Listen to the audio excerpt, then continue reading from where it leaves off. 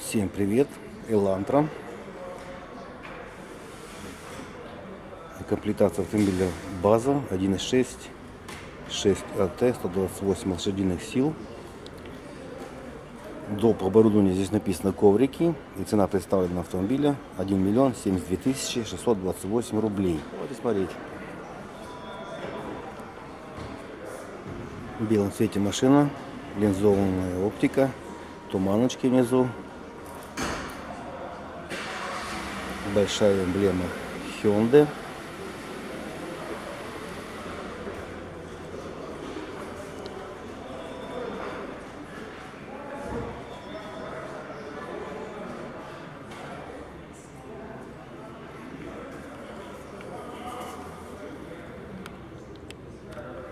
сто девяносто пять шестьдесят пять р пятнадцать здесь у нас стоят штампы и колпаки ну и резина естественно Nexon. Здесь стоит защита пластиковая. Повторители поворотов в крыльях в зеркалах нету. Большие зеркала. Отлично все видно прекрасно.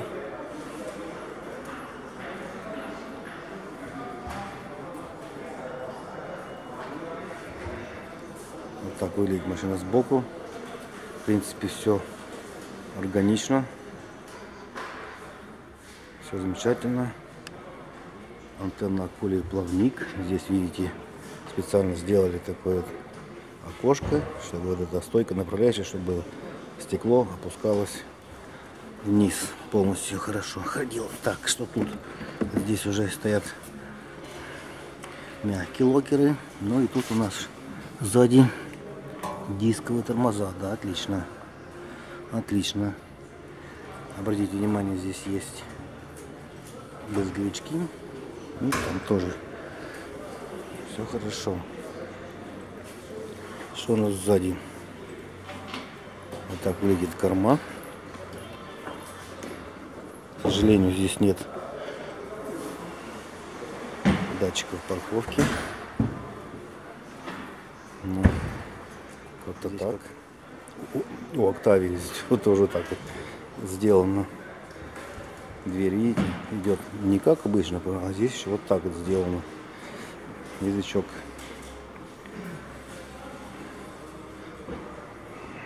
Довольно-таки снаружи все смотрится неплохо, отлично.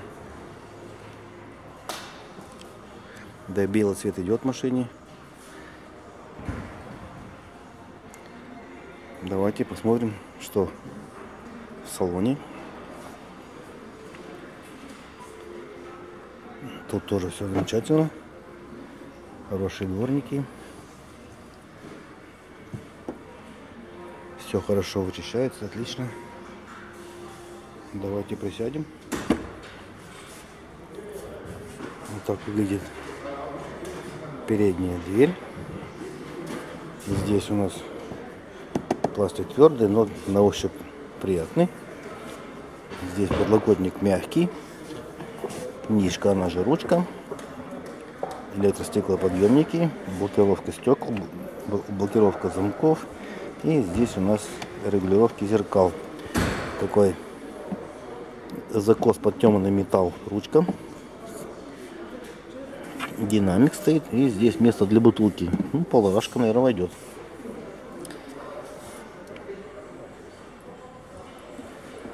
Здесь видите на пороге такая накладочка. И вот тут у нас открывается лючок бензобака и багажник. Две регулировка сиденья по высоте. Это у нас наклон спинки. Давайте посмотрим, что у нас дальше. Присядем. Здесь, как видите, вот рычаг открывания капота. Ну и тут у нас пошло угол наклона фары, яркость подсветки, отключение ESP и здесь еще две заглушки. Напомню, это у нас базовая версия. Вот так выглядит передняя панель.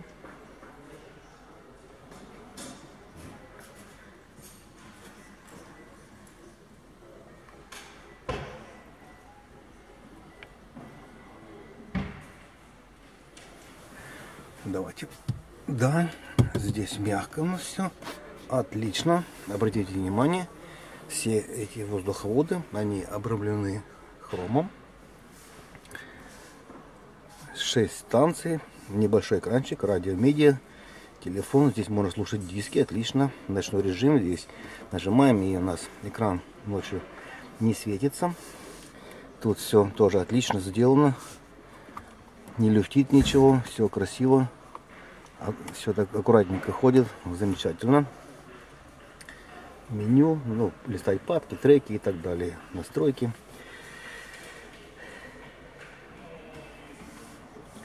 Кондиционер, различные зоны, аварийка. И тут у нас вот скорость вентилятора. И это воздух холодный и горячий. И рециркуляция кнопочка. Все. Подогрев зоны покоя дворников и подогрев заднего стекла. И еще здесь две заглушки.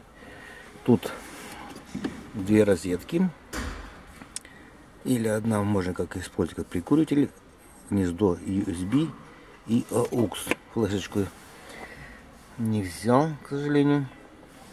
Здесь, как видите, трехступенчатый подогрев сидений. И все. И здесь просто дальше пошло у нас, видите, вот заглушки. Шестиступенчатый автомат. Хорошо. Такая ручка. Здесь что-то, ну, пусть будет кожа. И здесь, к сожалению, опять же, вот рычаг ручного тормоза и ничем он не отделан. Зато, видите, здесь подстаканники тоже так небольшое обрамление, что-то типа под хром. Ну и вот такой бокс-подлокотник. Он, к сожалению, у нас не сдвижной. Ну и средних размеров, не особо глубокий, ну, довольно-таки неплохо сделано. Такая вот замочек. Давайте снова посмотрим. Ну, неплохо, неплохо. Вот материал, конечно, несколько, ну, скажем так, удручает. По крайней мере, вот этот. Вот здесь вот, как бы, где спина и, ну, скажем, прямо задница. Вот нормально, только твердо. А вот этот, вот, мне кажется, он будет быстро замызгиваться и стираться. Если кто-то уже владеет, отпишитесь, так ли это или нет. Здесь у нас что? Регулировка ремней по высоте. Ручки у нас с микролифтом, они утоплены в потолок, отлично. Здесь есть зеркало в козырьке. Свет сейчас все отключено, но свет, видите, есть. Замечательно. Тут тоже вот включается свет. Здесь есть даже уже в базе очешник. И кнопочка ГЛОНАСС. Что у водителя? Да, у водителя тоже есть, видите, зеркало и тоже есть так, давайте еще посмотрим бардачок сразу, чтобы потом не забыть. Ну, довольно-таки вместительный. Довольно вместительный. В общем-то, нормально. Так, ну что дальше? Руль у нас в коже. Отлично. Он же у нас мультируль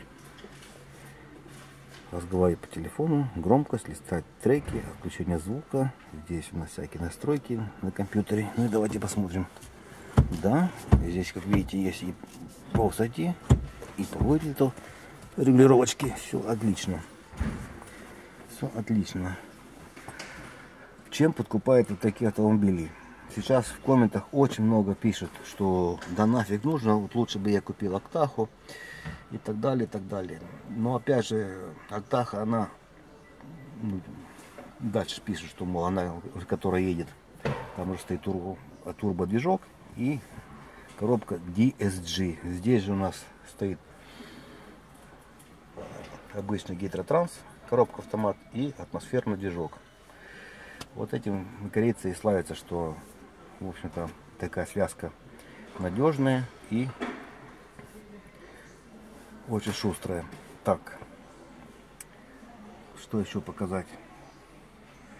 Давайте, наверное, пойдем назад. Там посмотрим, как. Ну что, вот, вот если вот такую тачку брать, вот это, конечно, честно говоря, вот, вот это все на любителя. Ну, по крайней мере, такой не отторгающий вид, скажем так. Вот. То есть, опять же, здесь что? Минимальный набор опций. В том плане, что радио есть, кондер есть, коробка автомат. Здесь есть подлокотник. Вот. Единственное, что здесь опять же нет датчиков парковки. Ну там пошло-поехало. Конечно, к этому делу ну, ко всему привыкаешь. Вот. Я, ну, нормально сел. Да, вот так бы я поехал. Давайте посмотрим, что у нас сзади.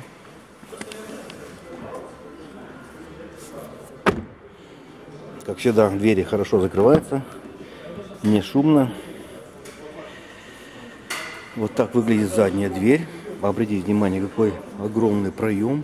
Здесь свистом, наверное. Сейчас попробуем присесть. Здесь что у нас? Да, здесь сзади тоже мягкий подлокотничек. Электростеклоподъемник. Тоже такая ручка-нишка. Ну, здесь место для бутылки. Тут, наверное, уже 0,5 стопудово не войдет. Но 0,33, 0,5, наверное, запросто. Тоже здесь, видите, на порожке такая почему-то черная вот эта пластмасска. По-другому ее не назвать. То есть накладка, не накладка. Почему? Или это уже вообще она не нужна. Или что-то хотя бы напишите, наверное, так. Сидим сзади, то есть я сижу сам за собой. Обратите внимание, сколько места. Аж две ладошки. Вообще супер. Ноги можно вот туда задвинуть. Вообще классно. Сидеть по-царски. Замечательно потолке имеется плафон. Правда, он почему-то там посередине, а не здесь, над сиденьем. Тут у нас что? Ничего нету. Ни розеточки, к сожалению. Ничего. Но зато здесь практически нет, как видите, тоннеля. Что тоже хорошо. Здесь нет ни кармашков. Но зато Видите, здесь пластиком отделано, здесь легко мыть, если вдруг дети испачкают, раз, быстренько протерли и все. Все красиво. Дальше идем.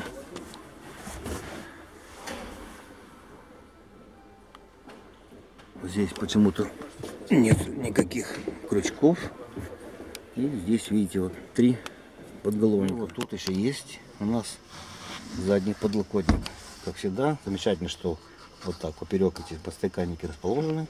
Тут, к сожалению, нету крючка. То есть длинномеры, если перевозить, то только откидывать спинку. Да. да, очень даже неплохо. По высоте все сделано. Позвоночник ровный, сидишь нормально. Ну вот, опять же, что я сижу по-царски, все удобно. Поехали. Единственное, что может быть как-то коротковато чуть-чуть сама вот эта сидушка. Ну, сколько? Вот где-то вот 3 сантиметра еще, допустим, вот до этого места, где под коленкой. А так, в общем-то, и неплохо. Закрываем.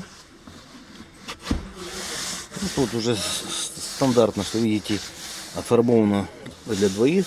Хотя здесь, ну, вот если лямку убрать, вот не так выражено этот горб, но все равно, видите, вот тут там еще болтается тут. Тут как-то вот, вот это место твердое. И пошел это все, я так понимаю, все равно здесь третьему сидеть будет не особо и удобно. Ну, а так, в общем-то, вполне, вполне. Ну что, идем дальше.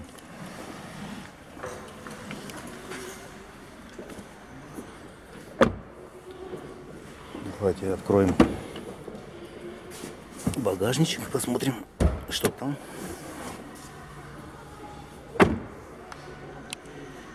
Вот так открывается крышка. Невысоко. Ну, что делать? Как есть. Здесь, видите, подсветка номера. И, к сожалению, здесь у нас кнопочки нету. То есть мы открываем либо с брелка, либо из салона. Вот так выглядит багажник. Он довольно-таки вместительный. Ну, кроме вот этих вот лямочек, здесь больше ничего нету, к сожалению. Подсветочка есть. Вот эти рычажки дергаем, и у нас спинка Сиденье заднее откидывается. Давайте посмотрим, что у нас тут. За эту лямочку мы дергаем. И обратите внимание, открывается какой вид. К сожалению, здесь металл ничем не обклеен. Ни вибра, ни шума. Тут у нас докатка стоит. Видите, такая вот. И набор инструментов. Ну и вот этот коврик тоже, видите, он сам по себе болтается. Хотя, с другой стороны, может просто его, допустим, удобно вытащил, почистил, там химчистку отдал или что-то еще. Дальше здесь низ отделан пластиком. Хорошо. Единственное, опять претензия, что вот эти вот мягкие вот эти все отделаны, почему-то заезжает сюда, где-то сумкой будете туда вперед вытаскивать и будет это шоркаться. Но про петли я уже не говорю, уже данность.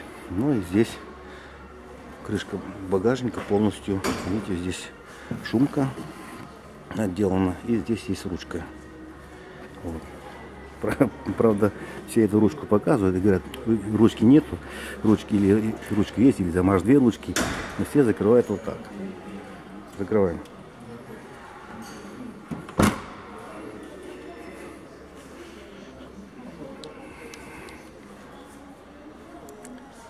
Ну что, посмотрели мы машину. Честно говоря, все неплохо. Вот обратите внимание, да, все ну, по форме, да, вот внешне все гармонично. Попка такая красивая, ничего лишнего. Причем здесь у нас стоит коробка автомат, атмосферный движок. Некоторые говорят, что 120, сколько? Да, 128 сил будет мало. Я считаю, что, в общем-то, сейчас гонять-то особо где кругом эти камеры Поэтому я считаю, что вполне должно этого движка хватать. То есть не, не Шумахера ни разу. Напомню, что цена автомобиля базовой комплектации 969 тысяч рублей. Вот. И чего здесь, как на мой взгляд, не хватает, так это вот датчиков парковки. Ну, не знаю, сколько они там стоят копейки. Допустим, если у дилера до заказал. Ну, диски уже летели там самим закупить. Это уже как бы ну, хотя вот, ну, допустим, первые полгода можно и так поездить, ничего страшного. То есть, как вариант, очень даже, очень даже и неплохая тачка. Как всегда, пишите, что думаете по этому поводу. Все, всем пока, счастливо.